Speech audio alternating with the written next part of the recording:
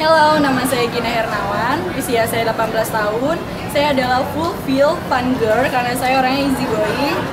Menurut saya tradisi Indonesia itu unik dan beragam karena cuma di Indonesia kita bisa memiliki banyak bahasa, suku, adat istiadat, dan sebagainya. Dukung saya menjadi topo top girl Asia.